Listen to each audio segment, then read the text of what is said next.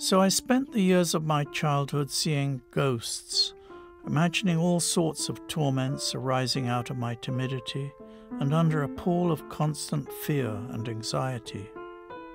Everything scared me, and so I often sought refuge in a magical interior landscape, which, as I was later told, made me a rather introverted type.